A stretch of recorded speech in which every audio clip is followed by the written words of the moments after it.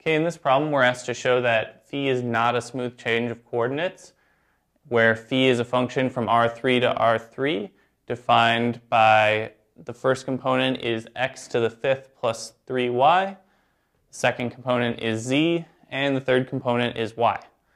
So first we want to try and produce a inverse function to see if phi is a bijection.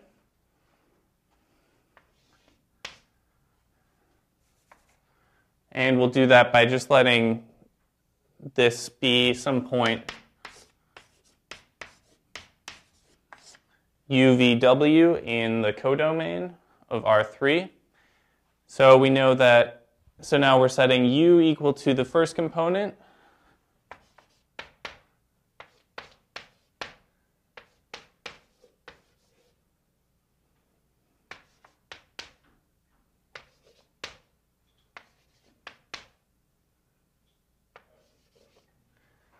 which, so we let u equal to x to the fifth plus 3y, v equal to z, and w equal to y.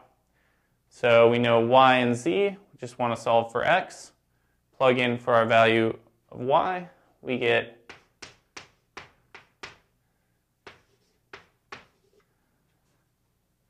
x to the fifth is equal to u minus 3y, y is w, so we can plug in there. Solving for x.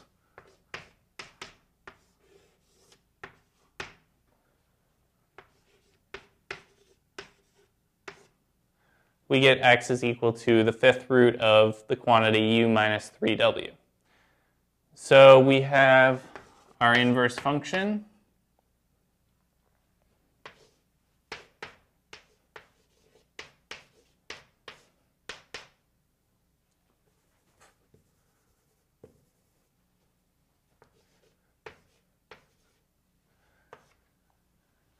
Our inverse of UVW is equal to XYZ.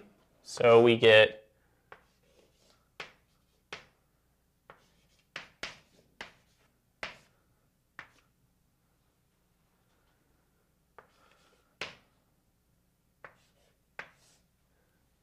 For the first component the, is the fifth root of u minus 3w. The second component is w and the third component is v. So we see that phi is a bijection, but we want phi to be phi inverse to be infinitely differentiable. We know that v and w will be v and w. We're not so sure about the fifth root of u minus 3w, so we'll take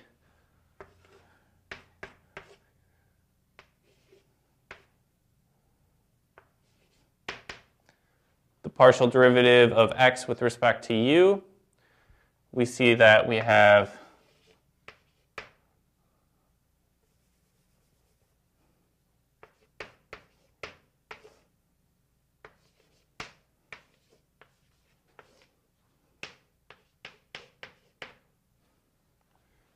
our partial derivative is 1 fifth times u minus 3w to the negative 4 fifths, which if this quantity is equal to 0, if u minus 3w is equal to 0, then the derivative doesn't exist. So we know that we can find some point, let's say just like u equal to 3 and w equal to 1.